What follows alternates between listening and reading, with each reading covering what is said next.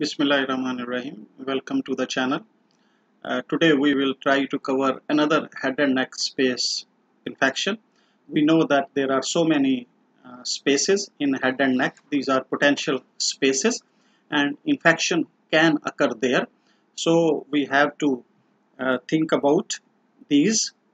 I have covered already the peritonsillar abscess or the quinsy and the link for that is there in the description.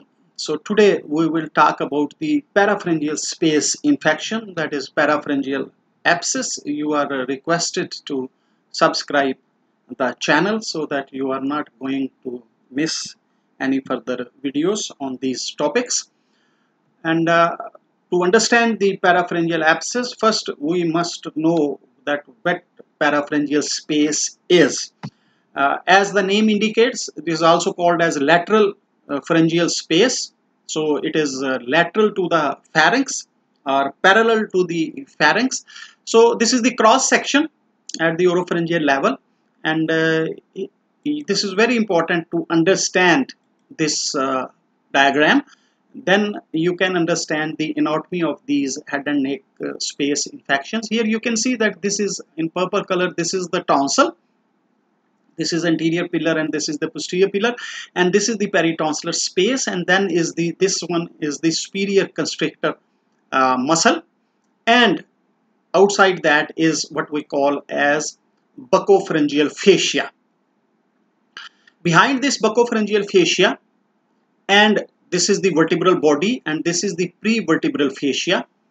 In between the two there it is what we call as a retropharyngeal space which is separated by a fibrous midline raphe into two that is spaces of Gillette. Behind that is the danger space and then is the prevertebral fascia and between prevertebral fascia and prevertebral bodies there is a space which we call as prevertebral space. Similarly on this side is the same anatomy which is not present here in this diagram. So we concentrate on this one. So this area, so this is the pharynx and this area is the parapharyngeal space. This parapharyngeal space medially, you can see this is the medial part. It is, you know, medially, uh, it is bounded by the constrictor muscles of the pharynx and buccopharyngeal fascia.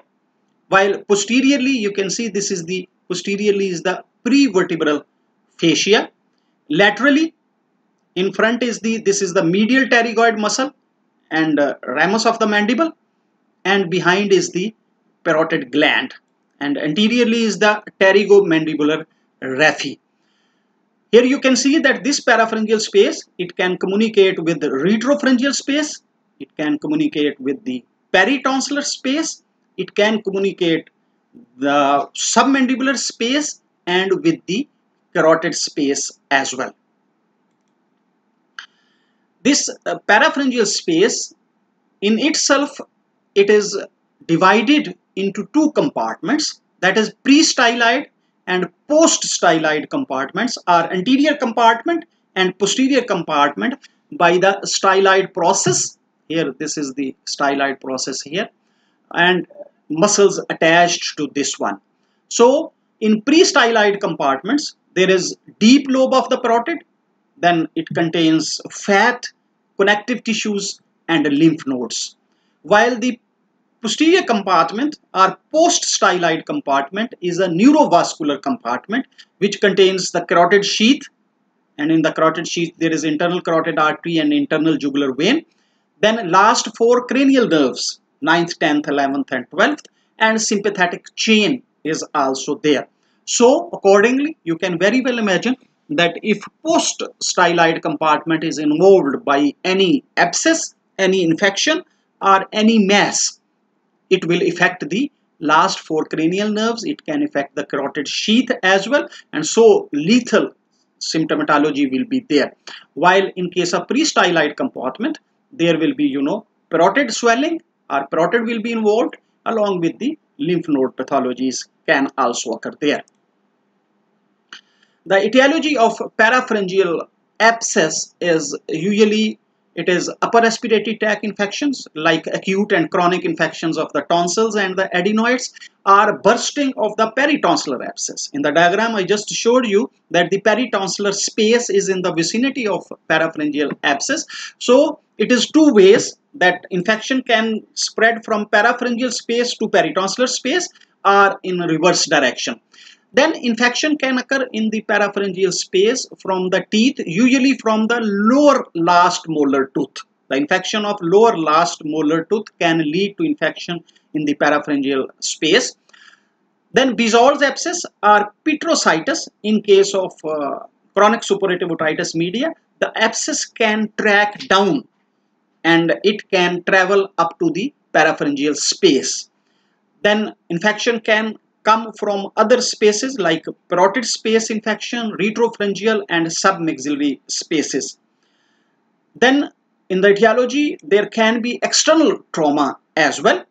And in the external trauma, there can be penetrating injuries of the neck, especially in this zone 1 or partially the zone 2. We know that for uh, description of the trauma external trauma to the neck we divide the neck into three zones. Zone 1 is below zone 2 is in the middle and zone 3 is the upper one. So any penetrating trauma external trauma in the zone 3 or zone 2 of the neck can lead to parapharyngeal space infections. Uh, if we have to go for injection for local anesthesia for laser tonsillectomy especially the infection can be introduced through that injection or if dentist is using mandibular nerve block injections and infection is being introduced into the parapharyngeal space again that will be a external root or external trauma. Now clinical features will depend upon the compartment involved in the anterior compartment or pre-styloid compartment that is uh, due to the division by the styloid process and the muscles attached to it. The anterior compartment is related to the tonsillar fossa medially and medial pterygoid muscle laterally. So there will be prolapse of the tonsils and tonsillar fossa. By prolapse we means that the tonsil on that side where there will be parapharyngeal abscess that will be pushed medially.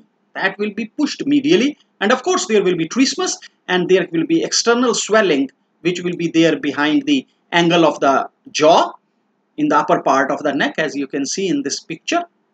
Behind the angle of the jaw it will be. So these this is a triad of symptoms pathognomonic of anterior compartment or pre-styloid compartment involvement of the parapharyngeal space. In case of posterior compartment in the posterior compartment that is related to the posterior part of a lateral pharyngeal wall medially and parotid gland laterally. So through the posterior compartment, we know that the internal carotid artery, jugular vein, last four cranial nerves, the sympathetic trunk, and upper deep cervical lymph nodes are also there, and it communicates with the retropharyngeal, submandibular, parotid, carotid, and visceral uh, spaces as well. So in that case, there will be bulge of the pharynx behind the posterior pillar. In anterior compartment, from the lateral side, it will be pushing the tonsils medially. While in case of posterior compartment, the swelling will be posterior to the posterior pillar. So from behind, it will be pushing the uh, posterior pillar forward. And then there can be paralysis of the last four cranial nerves and the sympathetic chain. There can be a swelling of parotid region but trismus will be minimal in case of post-styloid compartment involvement or tonsillar prolapse. That is the medial pushing of the tonsil will be less marked as compared to the pre-styloid compartment involved. Then there will be certain features which will be common to both compartments and those are generalized features of any infection. So of course if infection is there what we expect is high grade fever. So it will be there either the abscess is there in pre-styloid compartment or it is there in the post-styloid compartment then there will be odynophagia. Of course the patient will complain of sore throat torticollis will be there and then signs of toxemia depending upon the severity of infection. If we go for investigations on uh, CBC there will be leukocytosis and polymorph nuclear cytosis Throat swab can be sent for culture sensitivity. Ultrasonography of the neck and uh, ultrasounded guided aspiration can be done if pus is being found on ultrasonography or we can go for CT scan which is the best imaging examination for diagnosis and follow-up of parapharyngeal abscess after treatment. So here on CT scan you can see a huge collection of pus on this side as compared to the other side. Again, huge collection of pus there in the parapharyngeal space and it is pushing tonsils medially. So we have to start with systemic antibiotics and because there will be a mixed flora so we have to go for triple regime. When we say triple regime it means we should have to administer the coverage from uh, intravenous of course high dosage antibiotics which are covering the gram positive bacteria that will be covered by the penicillin and its derivatives are first generation cephalosporin then third generation cephalosporins to cover the gram negative bacteria and for uh, anaerobes we have to go for metronidazole. Steroids to reduce the inflammation and then of course strong analgesics may be required and for hydration of the patient due to odynophagia patient definitely will be dehydrated. So we have to go for intravenous fluids.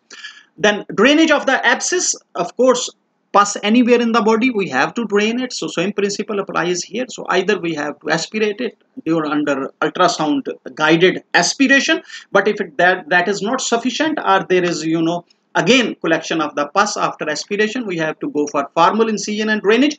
So either we can go for horizontal incision below the angle of the mandible or we can go for if there is a huge collection of pus we can go for Mosher's T-shaped incision and if respiratory airway obstruction is there then we have to think about the tracheostomy as well. So this is the angle of the mandible and lower border of the mandible and this is mastoid tip. And there we have to give an incision from the mastoid tip towards the chin curved incision which should be two fingers breadth below the uh, uh, border of the mandible to avoid the injury to the mandibular branch of the facial nerve or we can go for T-shaped, Mosher's T-shaped incision. Here in the diagram you can see this is a T-shaped so it will give you a wider exposure of the parapharyngeal space and if any loculi are there you can break those loculi and you can remove that pus from there as well. If it remains untreated, there can be acute laryngeal edema which can lead to respiratory obstruction and emergency tracheostomy may be required. Thrombophlebitis of the jugular vein with septicemia is one of the complications. Then spread of the infection to retropharyngeal space, spread of the infection lower down towards the mediastinum along the carotid space and even carotid blowout with massive hemorrhage which is lethal can occur. So with that, we come to the end of uh, today's discussion. You are requested to like, comment and subscribe the channel. Thanks for watching.